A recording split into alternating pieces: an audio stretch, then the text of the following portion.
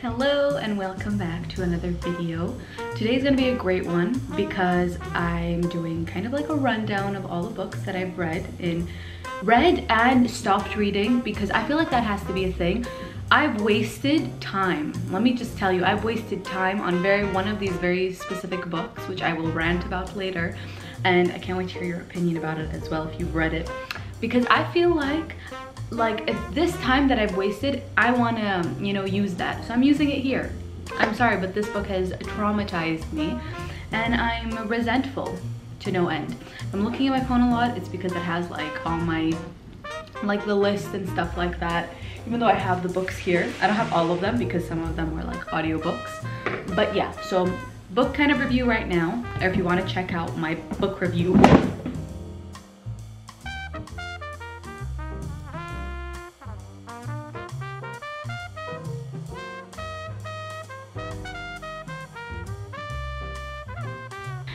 Um, if you want to check out my book review for last, am I in focus? Yeah. So if you want to check out my book review for last year, you can find that on my channel. You just put, I think I'll put like a card right here or something. But I reviewed like all the books that I read in 2020, and there's a very specific theme, which is kind of gonna be like still the theme because I'm still the same person, and I'm interested in the same things. So I'm gonna also claim that there are graphic novels in here because those are real books and I don't give a fuck what anybody tells me. Um, yeah, you know the vibes. So yeah, so there's gonna be graphic novels, audiobooks, and regular books. And I'm gonna start off with the first book that I read this year, last year. I know it's March, don't judge me please. So I read Oranges Are Not the Only Fruit. So this was a really great book in terms of the fact that it was like really a quick read and it kind of like got me into the year in terms of like things that I wanted to read and how like you know the vibe like you know when sometimes you need to have like a good first book of the year to kind of set you in motion this was like that for me and it's basically like i'm just gonna read you the back to kind of give you a vibe so this is like kind of like her autobiography uh, Jeanette is a bright and rebellious orphan who was adopted into an evangelical household in the Dore industrial north of England. Her youth is um, spent embroidering grim religious mottos and shaking her little tambourine for Jesus. But as this budding missionary comes of age in terms of in terms with like her sexuality and you know gender roles and all of that kind of stuff, she kind of figures out a lot of stuff and she realizes that oranges are not the only fruit. Let me just tell you that. Um, it was really good and it was a very short read and her style of writing is fabulous. So I would really like it. I don't know, it, when I read books about like conservative Christians, it always kind of reminds me of like the Middle East. So it was interesting because a lot of the stuff was like, I see similar vibes. Maybe not to the extremeness that this book was doing, but it was something, you know what I mean? And after that, I read a graphic novel, which I, by the way, I'm not gonna like go into too much detail about the graphic novels, but just because um, I reviewed it for my, I think I reviewed these two for my graphic novel video that I also have up on my channel, which I'll put a little card here that you can watch. I read Are You My Mother, which is, yeah, Are You My Mother, a comic drama. And it's basically like all, you know, painted in in a specific, like in a specific color basically. So it's like black, white, gray, and then red, as opposed to Fun Home, which is the prequel for this book. Um, or no, this is the sequel, so that can't be a prequel. It was just like the original. Um, I don't know. Which is all blue, and so that one was about her dad, and this one is about her mom, and it was Chef's Kiss. In addition to that, I read A Child's Life, which I'll put right here. It is basically the prequel for Diary of a Teenage Girl, which I also read last year, and it's one of my favorite books of all time. Uh, it was a book, but like had graphics in it, but it was a book. Um, I love that book with all my heart, and Child's Life is a very graphic, very graphic and graphic and explicit um, prequel to that. So I, you've been warned, and you know, don't buy it for your children, even because it is not the vibe. Let me just tell you, my traumatizing experience of. Oh, sorry, that's dust because I literally threw this at the top of my bookshelf haven't looked at it since, since like maybe what, last March, last April. So Lolita, literal bane of my existence. I read about 250 pages, hated it, made me so fucking uncomfortable the entire time. I had I wanted to read it just because I feel like it's such a cultural thing that everyone talks about. I hated it. I hated this book. It was so, the writing was good and I realized the point that it's supposed to be from like the predator and pedophile's point of view and that's supposed to make you realize how fucked up it is but it literally just made me feel uncomfortable. And obviously the writer is incredible and the like what he was able to do was incredible but the content made me want to pull out my eyelashes and it was literally preventing me from reading any other book because I was like this book is so fucking chunky and the writing is so fucking tiny there's literally no paragraphs it's just words just words so I was just like I can't finish this book if I don't if I gotta start another book if I don't finish this book who said that to me? Who says I have to do that? Literally no one. I was like, I want to hate myself today. Not the vibe. I don't recommend it. I hated it. I stopped reading it and I threw it at the top of my bookshelf and I felt free. So that's something else. And then this is a reminder, if, you, if a book is too aggressive for you or too intense, just stop reading it. Who says we have to read these books? I don't want to read them. You don't have to read them. Nobody has to read them. Um, yeah, fuck that. The next book that I read, um, I read this when I broke my ankle last March, The Virgin Suicides. So this book was very interesting. So it was by Jeffrey Eugenides, Eugenis, Eugenis, I don't know. Um, it's a really, really interesting book and I got it from a used bookstore because I'm like really quirky in case nobody has realized. Um, I got it in 2017. I went my friend to a bookstore and it was like a used bookstore, Quid Books, you know? I think you guys know now. I think it's called Bliss and Paper in the city. But I was, um, I had just watched The Virgin Suicides like as a, the movie and I didn't get it. I was like, what the fuck? What happened? It's basically about, like, it's not really a spoiler. It's basically from the point of view of the boys who live next door to, the, like, across the street from them. It's about five girls who grew up in, like, this conservative Christian household. You see? Do you see a, you know? Uh, anyway for this book trigger warning obviously. Uh, so they all commit suicide and it's all from the point of view of the people who live across the street from them. And it's really really interesting like figuring it out. And I when I watched the movie I was like I was trying to figure out like why did they kill themselves? I still don't understand it like obviously you kind of figure out and they're like interviewing people later in life. Like so this book is from the point of view of when they like before they killed themselves after years later when they interview like everybody involved. And you never really figure it out but like the way like the way you feel as you get there was very interesting. And i really liked it. It was a little slow um but the writing style is really interesting. So that's what i really liked so there's like a difference when a book is slow but the writing style is good and like keeps you interested. He has another book called middlesex which i really want to read as well. Um, it's a very gothic vibe. Uh, it takes you back to a very specific time. Um, yeah kristen kirsten dunst is the main character. Lux highly recommend. Love it. Live for it. You know a good a solid seven out of ten.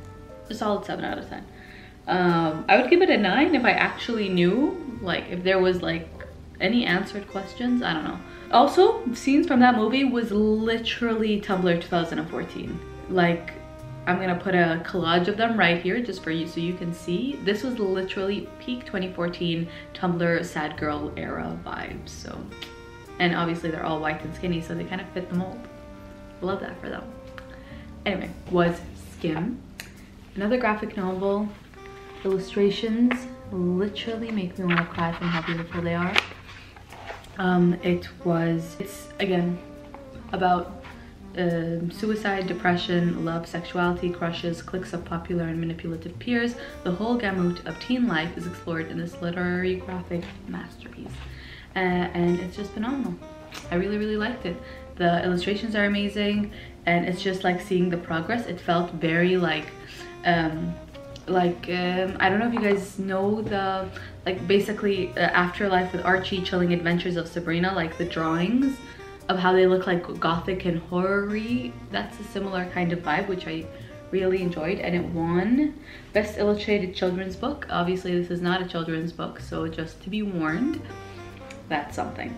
So I also really got into audiobooks this year because um, I spent a lot of my time you know, kind of like painting and drawing, well, all of my time basically doing that.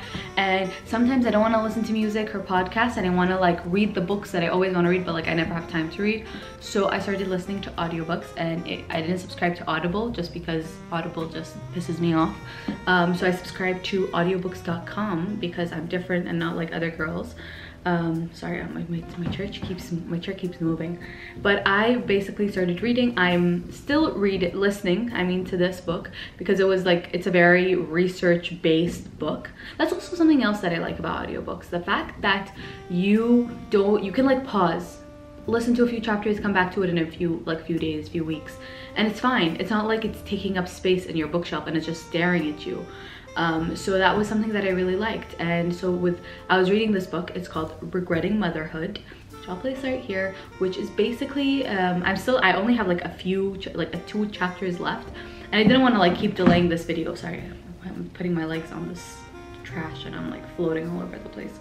But um, it's basically, it's a book called Regretting Motherhood and it's a research study done in Israel, which um, I know a lot of people will like be not very excited about, but the um, what I really enjoyed about the book when I first like listened to the first chapter was the fact that it was like they also even talk about like the effects of Zionism on motherhood and the way that we view motherhood and stuff like that like in Israel and Palestine and stuff like that.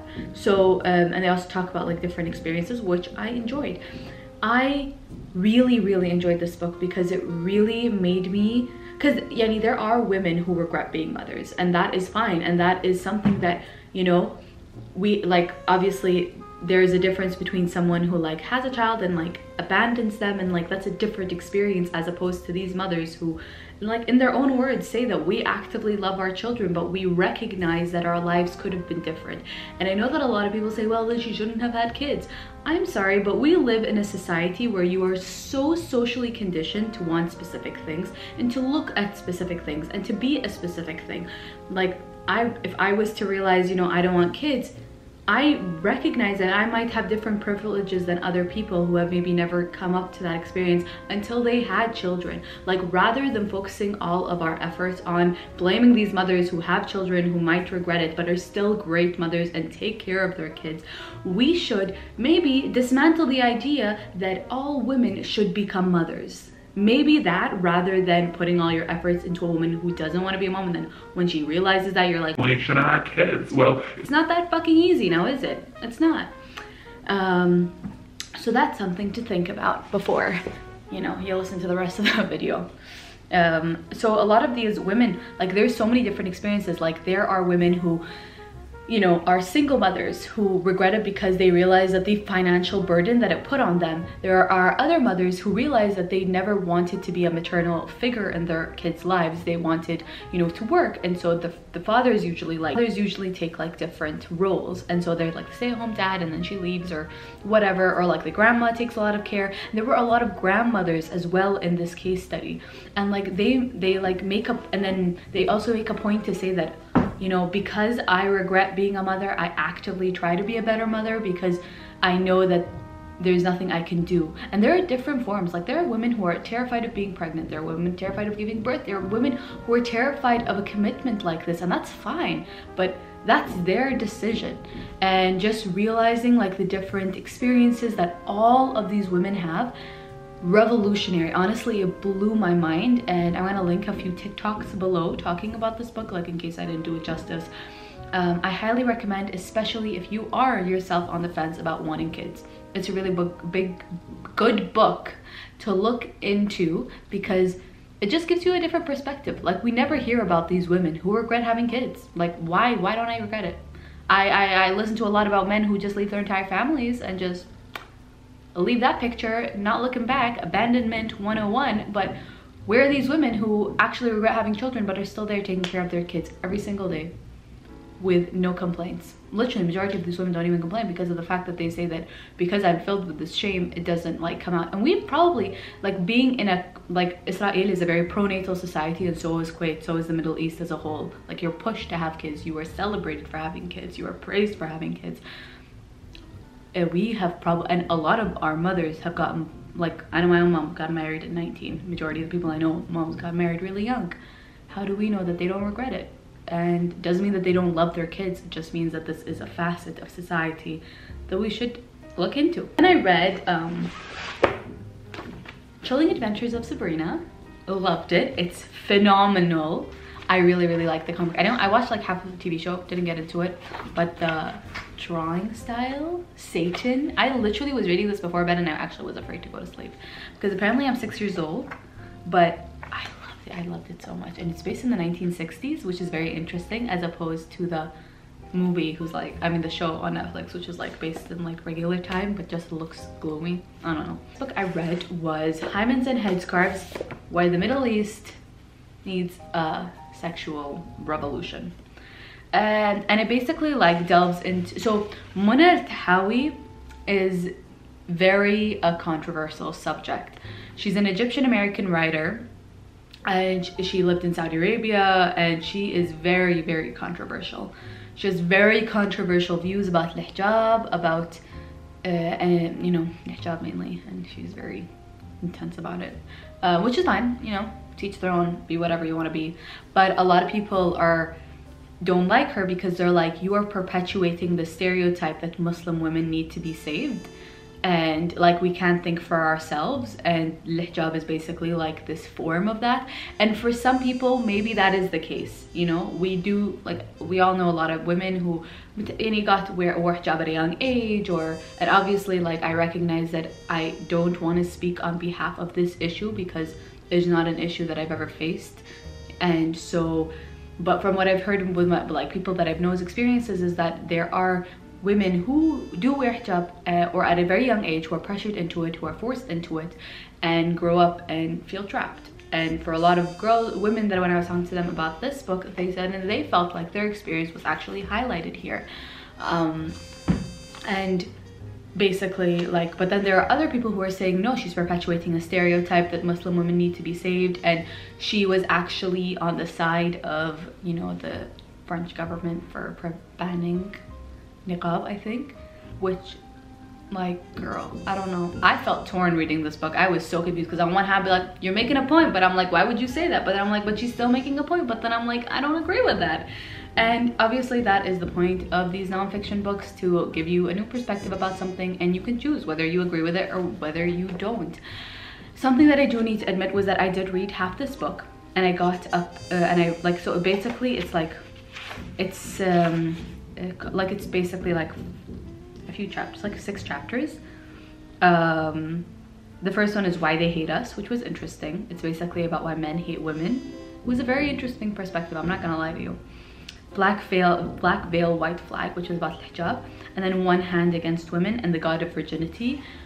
I stopped reading at The God of Virginity because it was physically painful and trigger warning of mentions of, you know, assault and and if you don't want if you don't want to listen to that please skip to this part of the video but this book was so uncomfortable and so triggering to read by those chapters i physically had to stop reading and i've stopped reading the book completely because I literally would just cry a lot around about when I would read this book and I just felt so uncomfortable. I felt like throwing up. I felt physically ill because the problems were so triggering and they were so personal like because of the fact that this is like set in the Arab world and she would talk about Kuwait, Lebanon, Saudi, blah blah. It felt so intense and so personal that I felt like I felt like my skin like my skin was basically starting to crawl. Mm-hmm. And I couldn't take it anymore and I was like why am I forcing myself to subject myself to this like torture? For what? Like i know a lot of the stuff that's in this book and i and i recognize that these are these issues but i don't have to sit there and like read every single word and torture myself through it. Because the some of the stuff that's in this book is so graphic so painful and i just wasn't having it to be honest with you. Anyway to end on a good note one of the best books that i've read this year was where is it Tales of the City. I have the physical copy, but I read both of the books on um, audiobooks, but it's basically a series and you probably have seen it on Netflix and I'll tell you more about that now. So the, the series basically goes like this. Tales of the City, more Tales of the City, further Tales of the City, Baby Cakes, Significant Others, Sure of You, Maybe the Moon, no, no, Significant Others, Sure of You, Mary Ann in Autumn, Michael Tolliver Lives, and The Days of Anna Madrigal. So it's like a long running series. But this was basically the, like Tales of the City originally started as like a newspaper, um, like a newspaper, like an article, not an article, but like a column in the newspaper. And you can kind of tell from the way that it's like sectioned it's really really interesting so basically this was originally published in the san francisco chronicles in the 70s and it was literally the first book about like the lgbt life in san francisco which i found really really interesting. And the way that he wrote wrote about it like the main character is mary ann. Is like straight but like everyone around her is you know lgbt basically. And it was really really interesting the way that he was able to paint san francisco that i felt like i was physically there. Incredible. So so good. I haven't read a fiction book in a long time that has made me feel like that. And the characters have so much depth they're completely fleshed out. And I don't know, it's like I've always wanted to go to San Francisco and I kind of feel like I went whenever I, I go whenever I read this book. I read the first two books magical. And he was writing this as well throughout the hiv and aids epidemic in the us so a lot of it came into the the, the book um in the next books especially. Um and yeah so it was like a revolutionary thing to come out at the time to create these storylines for these characters and these people who have completely been marginalized in the past and who are usually just like the second like the second non-important character in the main character's life um and there was like a, and the thing is it's not just like about like their daily life. No there was like thriller parts in this how they're like oh this guy is like he's living in the building but there's something shady about him. What is he trying to do? And then you're trying to like uncover these secrets at the same time.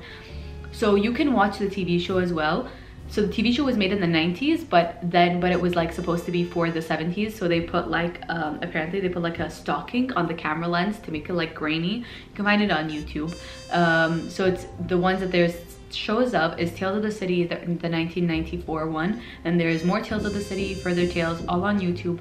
And then the final one, which was produced by Netflix in 2019. I, however, do not recommend that you watch. If you do want to read the books, do not watch the shows because it does ruin huge parts of the plot that you don't even figure out until later in like the second book. Um, so I kind of ruined it for myself. I I didn't even know it was a book to be honest um, because I watched the show like during COVID in 2020 like March or April or something. And the music like didn't it's like so perfect in the first one. And it's they like carry it on throughout more tales of the city and stuff like that. Yeah. So I highly highly recommend it Hello. I completely forgot. So now we're gonna answer some questions. Um, what is your favorite book genre and what is one genre you don't like to read? So my favorite book genre is, I don't know, what is like, I feel like I have a very kind of, like with, with nonfiction books, I usually like like feminist books, like feminist history books in general, um, feminist theory. But then, is that a genre? I don't know. But for like like I like this kind of fiction books like Tales of the City but like one genre that I don't read it's not because I don't like to I just have never been exposed to anything that I enjoyed is usually like um, science fiction I want to say science fiction, the classics. I do not like classic books. I read them in high school, hated them. It's just too much. Like, I don't like the language. It just doesn't feel right to me. Um, favorite easy non-fiction read? Okay, one of my favorite nonfiction reads is Sister Outsider by Audre Lorde. It's a phenomenal book and I talked about it in my last video about my favorite books of 2020. Um, highly, highly recommend and it's so transportive and it's like short essays so very easy to read. My favorite book I have, oh my god I completely forgot. Okay, anyway, one of my favorite books that I read so one of my favorite books is I'm gonna say a few. The Color Purple, Diary of a Teenage Girl, Tales of the City. Um, I think those are the three. You take notes and annotate while you read. No, never. I think I like write, like I'll I'll write a quote down if I have to, but I never actually annotate. I, I usually highlight, but that's about it. I don't take notes, I just highlight. But yeah, anyways i hope you guys like this video. That's it for today. Thank you so much for watching. And i just wanted to say thank you so much to all of my patrons who support me on patreon and who allow for me to make these little videos because i can because i can afford to. So anyway thank you so much. Um, and if you'd like to subscribe to my patreon please check out the link below. Um, you don't have to but we have like we have um, tiers from like two dollars up to twelve dollars. And yeah thank you so much for watching and i hope you enjoyed. Bye